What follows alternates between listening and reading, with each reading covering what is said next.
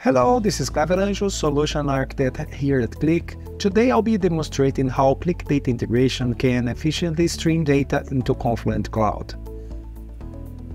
By combining these two technologies, we enable seamless data replication from diverse sources integrating with Confluent's event streaming platform gaining real-time insights from live data capture, empowering the organizations with up-to-date information for informed decision-making of real-time data analysis.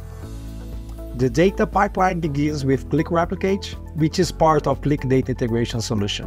This solution can easily and in an automatic way map and convert all data types from the sources, which can be on-prem or on cloud, creating the, the target topics for each table and registering a schema describing the messages that are being streamed. Replicate can also apply transformations and filterings in memory while moving data from source to the topics. And it can handle both the initial flow of historical data and ongoing change captures with the minimal impact on the source. Replicate achieves this by monitoring the source logs and keeps applying all the data to Confluent Cloud or Confluent Platform. In this demo scenario, we have a source database running on premise and we want to replicate its data into Confluent Cloud for real-time analytics and other applications. We'll be using Qlik Replicate to accomplish this.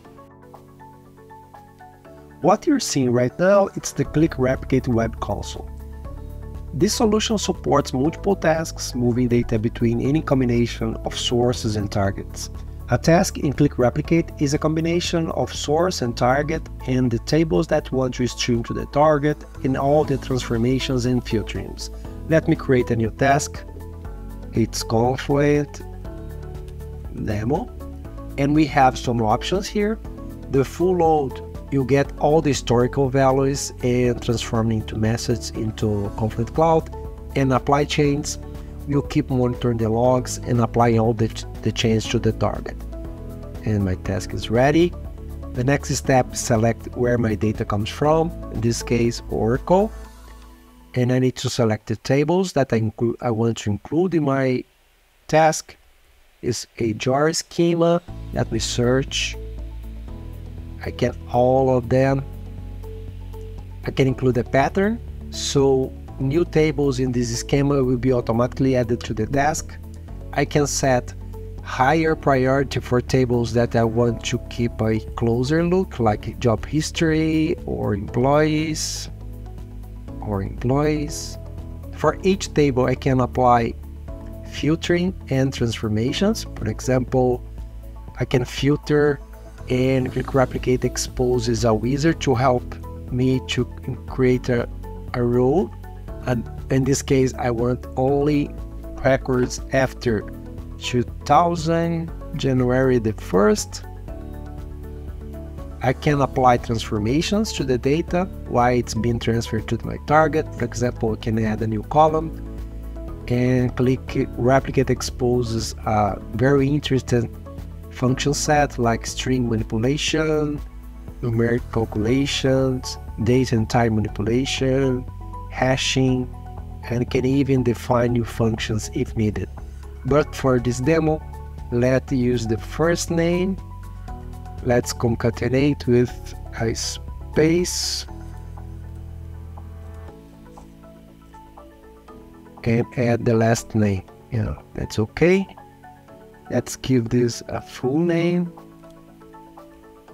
So now I have a new field. That's okay. Now I need to inform where is my Confluent Cloud and my credentials. I need to go to my cluster. I need to create a, one API key. Let me create a new key. Next, replicate key. this will download the file with all the informations that I need to configure my connection. Let me copy this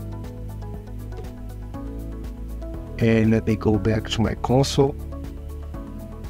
I'm gonna create a new endpoint which is confluent Cloud.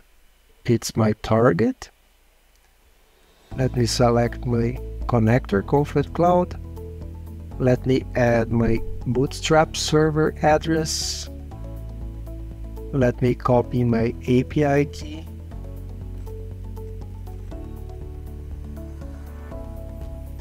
And my secret.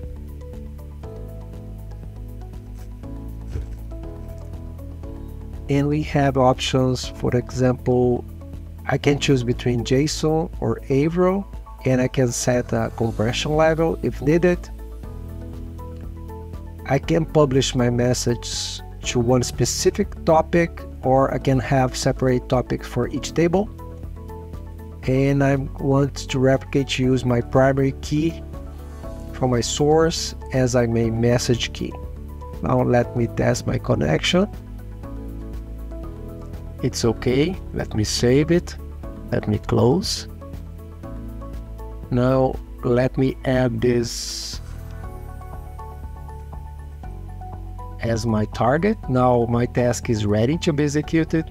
I have my source, I have my target, I have all the tables that I want to include in my, my task. Now let's run.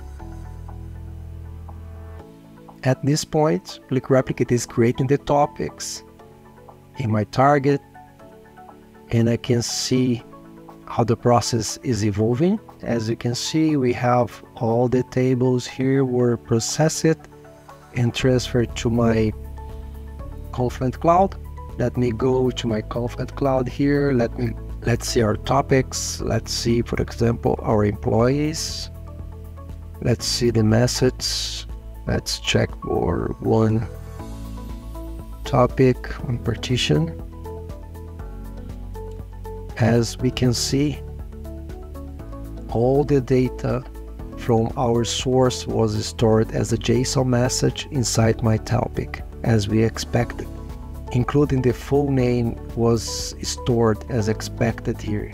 But what happens when I start applying chains to my target?